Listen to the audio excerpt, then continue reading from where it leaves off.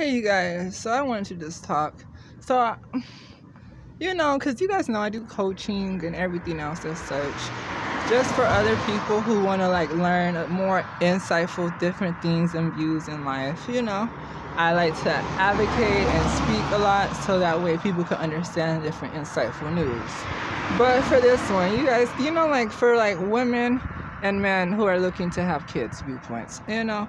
So with this conversation when we are young we have to always forgive our parents because you know they were young. They didn't know everything they needed to know on how to take care of us properly. But on top of that level they were not insightful of gaining the knowledge that they needed to know.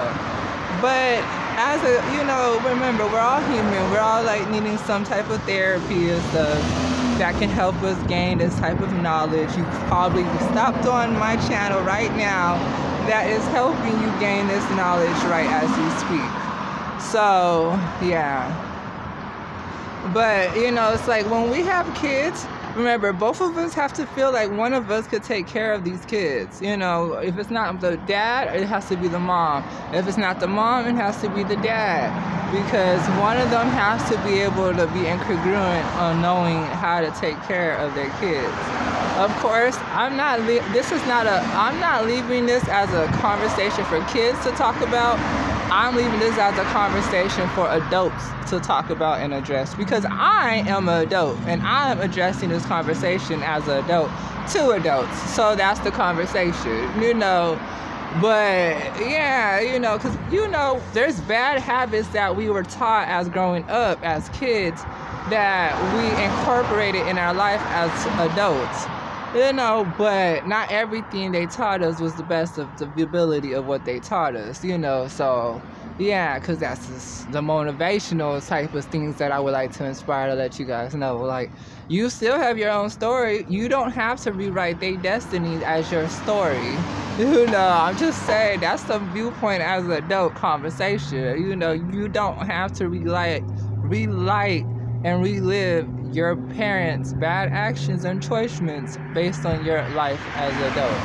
You don't have to do that. I know I'm not talking about nobody parent because I wouldn't want nobody to talk about my parent, but on the viewpoint of a conversation viewpoint, just to be able to reflect and reflect on reflection type stuff, that's why I bring this knowledge to you so you can reflect and reflect and reflect on the lessons of the conversation that I'm speaking to you guys with.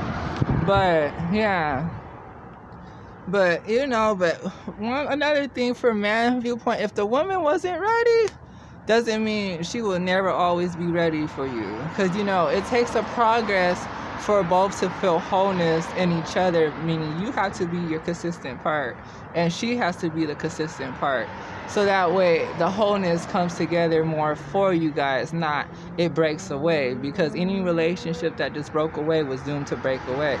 But any relationship that was constantly just going through like trials and errors, that's just part of life. You know, life intervened with a lot of things. That's part of life already. You know, that's always as life will. You know, that's why as a spiritual and life coach and stuff like that, there's ways that we could see the balance of harmony to know what we need to do in our next steps.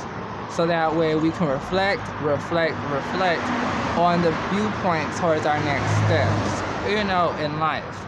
But that was all for my thinking for today, you guys. Hit the like button, subscribe if you are new to the channel, and I'll see you guys in the next video.